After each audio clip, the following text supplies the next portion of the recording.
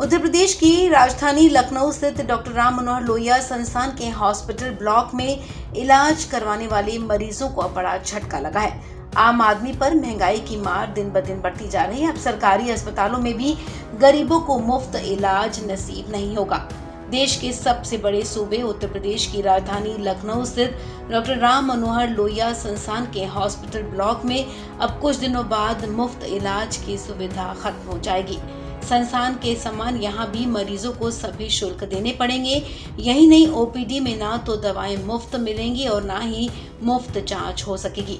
इसके अलावा इलाज के लिए बनने वाली एक रुपए की पर्ची के लिए मरीजों को अब एक हज़ार रुपए चुकाने होंगे। हालाँकि ये पर्ची छह महीने तक मान्य रहेगी। जो जाँच पहले मुफ़्त में होती थी, उसके लिए अब पैसे देने होंगे। अगर मरीज़ भर्ती हुआ तो ढाई सौ रूपए प्रतिदिन के हिसाब से भुगतान करना होगा। नए नियम जल्द ही लागू हो जाएँगे और ये अभी बस लोहिया अस्पताल में ही लागू होगा। अभी तक लोहिया हॉस्पिटल के ब्लॉक में मरीजों को एक रुपए की पर्ची पर इलाज मिल रहा था, जबकि संस्थान में ऐसा नहीं है। हॉस्पिटल ब्लॉक भी संस्थान के अधीन ही है, लेकिन अभी तक यहाँ मरीजों से जाँच और भर्ती शुल्क नहीं लिया जाता। अफसरों का कहना है कि 400 बेड के हॉस्पिटल ब्लॉक में रोज़ाना डेढ़ हज़ार से ज़्यादा मरीज़ ओपीडी में आते हैं। संस्थान ने शासन को पत्र भेजकर हॉस्पिटल ब्लॉक में भी संस्थान के समान शुल्क लगाने की बात कही थी। शासन ने इसे मंजूरी देते हुए आदेश जारी कर दिया है। आदेश में इमरजेंसी निःशुल्क लिखने की बात की गई है। अब मरीजों को सौ रुपए ओपीडी में इलाज के लिए चुकाने होंगे।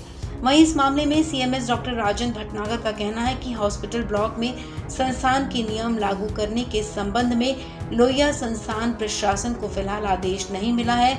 शासन के आदेश के मुताबिक व्यवस्था लागू कर दी जाएगी। वहीं एम एस विक्रम सिंह ने बताया कि नई व्यवस्था लागू करने में थोड़ा समय लग सकता है। सॉफ्टवेयर में बदलाव करने होंगे। इंफ्रास्ट्रक्चर और मैन पावर की भी ज़रूरत होगी। इसके साथ ही कई दूसरे बदलाव भी होंगे।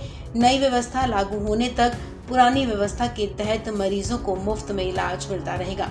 आपको बता दें, लोहिया संस्थान में लोहिया अस्पताल के विलय का आदेश साल 2019 में ही जारी कर दिया गया था। इसके साथ ये फैसला लिया गया था कि दो साल तक हॉस्पिटल के सभी विभागों में मुफ़्त इलाज की व्यवस्था लागू रहेगी।